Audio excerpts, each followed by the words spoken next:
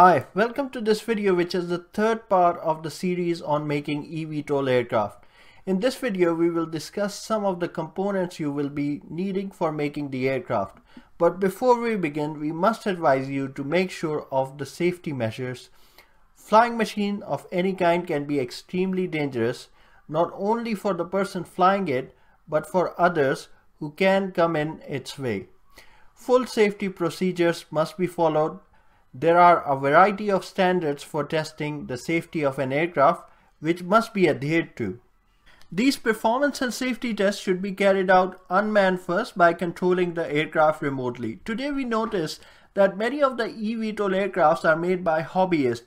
In many cases, we find them using larger RC model components. So the same motors used in RC aircrafts and drones are used in a higher number in the personalized eVTOL aircrafts. Now, it can be the case that the calculations we made in the previous video will have to be revisited, often because they will change according to the components you are able to find in the market. These components may not exactly be to your requirement and therefore the process of fabricating an aircraft can fluctuate back and forth between the design and manufacturing phase although you can reduce this cycling with a well thought out design. For your propulsion system, we can either use a combination of propeller and motor or use electric ducted fan or in short EDF. In the EDF, a motor is already included so we do not have to acquire it separately. So let's begin with the propellers. There are a wide variety of propellers available of different design and sizes and different materials. The propellers required for personnel carrying eVTOL aircraft would range from 60 centimeter, that is 20 inches and above in diameter length. As mentioned previously, we worked out that 1 meter diameter propellers consume the least amount of power based purely on mass flow rate and exit velocity principle and for a loaded aircraft weight of 200 kilograms. Fortunately, there are propellers available in those sizes of around 1 meter because of an established light aircraft industry. There are alloy-based and wooden propellers, but carbon fiber propellers are the best suited because of their lightweight and relatively higher stiffness. Note that when an eVTOL aircraft climbs up vertically, all the weight of the aircraft is solely resting on the propellers and therefore whenever selecting a prop make sure that it can bear the weight. This is normally mentioned in the specification sheet as the maximum thrust the propeller can support. Also when selecting a propeller, look out for the moment of inertia value. A low moment of inertia prop will accelerate quicker to a certain RPM. The torque required by a propeller to spin at a certain speed is also directly proportional to the moment of inertia. Also one thing to bear in mind is that larger propellers require more current to be pushed through the motor because they require more torque to move. We will elaborate this point further but let's now discuss motors. There are a huge variety of motors in the market. The preferred motors though are the brushless pancake motors used in large drones and the same can be used in an eVTOL aircraft. It is quite common to see a kV rating on the motor. This simply suggests how many RPM the motor will spin at 1 volt if there's no load on the motor. Having a high kV value is desirable because it gives a greater range of RPM, but more importantly, it should not supersede the maximum torque specification that the motor can handle. If the motor is loaded beyond its torque specifications, then the kV value would not stand for anything. You will notice that larger motors will generally have a lower kV value compared to their smaller counterparts. Motor manufacturers would have normally carried out tests for the combination of motors with different propellers. They often provide performance data in tables. The tables will have thrust force sometimes expressed in kilograms for convenience, the RPM, the power used, and the efficiency. Please pay special attention to these values as they will help you select the right components for your design. Although fasteners for joining the motor and propellers are standard but it is worth buying both from the same supplier because you can get the test data and sometimes also discount. It must be understood that voltage applied across a motor is directly proportional to the RPM while the current passing through the motor will determine the torque. For motors that have to support larger propellers, the current rating is high. A motor with low current capability will burn out before its rated life if fitted with a larger propeller. DC motors are used in drone and also in eVTOL aircraft because not only they produce torque but they also do not require an inverter as the battery power is also DC.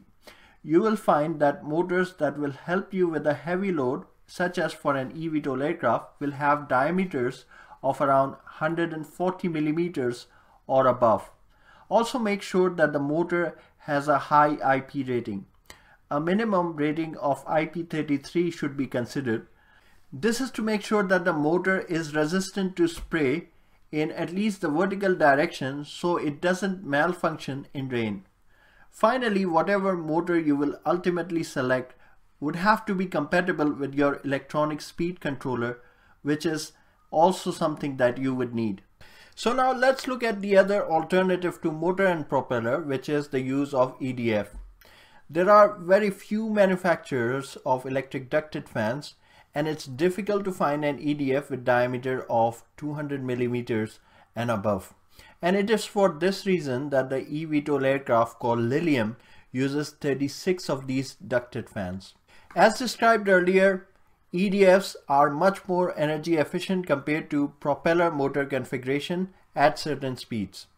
They're also much more compact for the amount of thrust they are able to generate.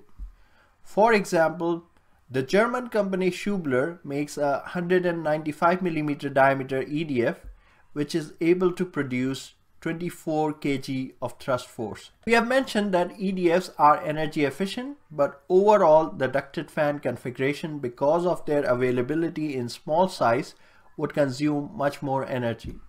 And this is based on the principle of low mass flow rate and high velocity as discussed in the earlier videos.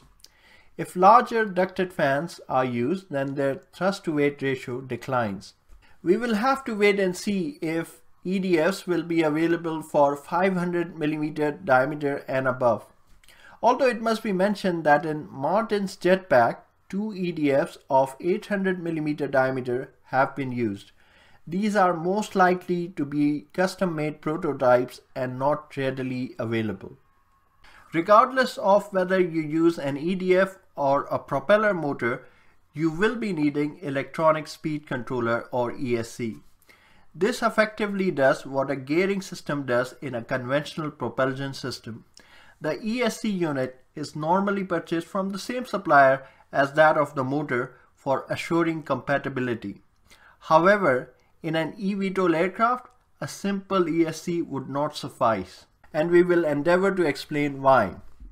Hovering aircrafts are aerodynamically unstable machines in multicopter drones, there are stabilizing computers with gyro sensors. They regulate the ESC for spinning the motors at different RPM. Please note that for stabilization, different motors may have to be spun at different speeds. And therefore, direct input from the pilot to the ESC has to be avoided and any input for controlling the motors has to go through the onboard computer. Thus, the eVTOL aircraft has to be fly-by-wire in architecture and therefore purchasing a simple ESC system would not cut it. It has to be coupled with a stabilizing system. Let's finally discuss the energy source. In RC models, lithium polymer battery packs are commonly used. One reason for this is their easy availability and the second reason for this is the relatively higher energy density compared to other lithium chemistries. Lithium polymer can also be used in eVTOL aircraft. Care, however, must be exercised to reduce the current or the total amps extracted from the battery pack at the cell level. We have already worked out that it would require very high power to lift the aircraft. Even at relatively higher system voltage, it would take several hundred amps during the vertical takeoff phase, So the current should be divided by having the maximum number of cells connected in parallel configuration after the system voltage has been reached by connecting them in series. Relatively low current extraction per cell would ensure less heat loss from the battery pack. We'll briefly discuss the frame and the outer body for eVTOL aircraft. The objective of the frame is to provide a platform for mounting all components. The body of the aircraft should provide safety and control surfaces. Fixed wings, as mentioned before, significantly increase the range of the aircraft. Also, the fuselage can be made shaped in an airfoil to give more lift per unit area. Aluminium alloys are popular in the aircraft industry, but more recently the share of composites have increased significantly in the modern aircrafts because of their lightweight and relatively high strength. The use of composite material in your design would however increase the total budget as they are expensive. And with this the video is concluded. It is obvious that not all the topics have been covered for making an eVTOL aircraft. Nonetheless, it is felt that we have touched upon the major components and this information would put a person in good stead who is looking to build a flying machine from scratch. If you learned from the video, please do hit the like button, help our channel grow by sharing this video with your friends. If you have any questions, make sure to type them in the comment box. Subscribe to the channel. Thank you for your attention.